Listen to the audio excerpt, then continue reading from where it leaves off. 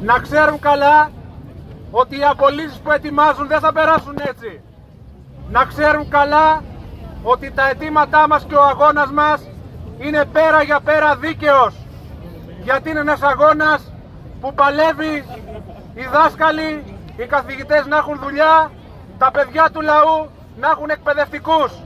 Γιατί είναι ένας αγώνας που στο επίκεντρο και στην προμετωπίδα του έχει τις μορφωτικές ανάγκες πρώτα απ' όλα των παιδιών. Καταθέσαμε σήμερα στο Διοικητικό Συμβούλιο ΔΟΕ και ΟΛΜΕ πρόταση για άμεση απάντηση και κλιμάκωση με 24 ώρια απεργία την Πέμπτη και την Παρασκευή. 48 ώρια απεργία την Πέμπτη και την Παρασκευή. Γιατί στο μέγεθος της επίθεσης πρέπει να αντιστοιχίζεται και το μέγεθος της απάντησης. Απορρίφθηκε αυτή η πρόταση και στα δύο διοικητικά συμβούλια.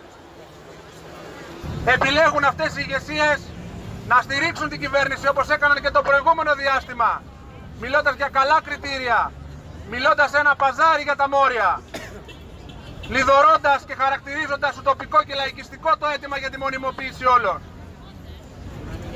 Θα κάνουμε τα πάντα ώστε την Παρασκευή στην απεργία που είναι ήδη αποφασισμένη να δοθεί μαζική, μαχητική απάντηση. Θα κάνουμε τα πάντα οι γενικές μας συνελεύσεις τις επόμενες μέρες να είναι μαζικές, να έρθουν όλοι οι συμβασιούχοι, να συζητήσουμε, να αποφασίσουμε πώς θα πάρουμε στα χέρια μας τη ζωή μας. Την Παρασκευή στο κέντρο της Αθήνας πρέπει να βρεθούμε πολύ, πάρα πολύ και θα είμαστε.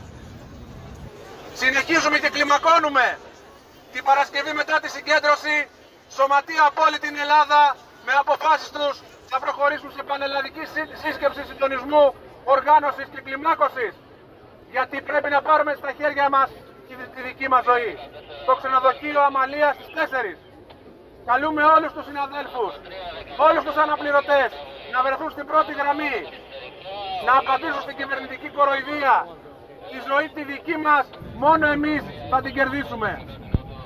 Αυτή τη στιγμή ένα αίτημα μονάχα μπορεί να ενώσει όλους τους εκπαιδευτικούς να αποκτήσει κοινωνική συμμαχία να πιέσει την κυβέρνηση. Εδώ και τώρα 30.000 μόνιμοι διορισμοί, μονιμοποίηση όλων των αναπληρωτών είναι το πιο δυναμικό, το πιο νεανικό, το πιο επιστημονικά καταρτισμένο κομμάτι του κλάδου που τώρα πρέπει να μείνει στα σχολεία και όχι να απολυθεί. Κοροϊδεύει η κυβέρνηση και τους αναπληρωτές και τους μονίμους. Υπόσχονταν σε όλο τον κόσμο. Πηγαίνετε στις παραμεθόριες περιοχές, πηγαίνετε στα νησιά, μαζεύτε προϋπηρεσία για να σας διορίσουμε. Και τώρα τους κοροδεύει, κατάμουτρα και τους απολύει. Βγάζουμε τα συμπεράσματά μας, καταδικάζουμε την κυβερνητική πολιτική και κάθε συστημική δύναμη και στα σωματεία και στις εμπερκόμενες βουλευτικές εκλογές, ευρωεκλογές και τοπικές.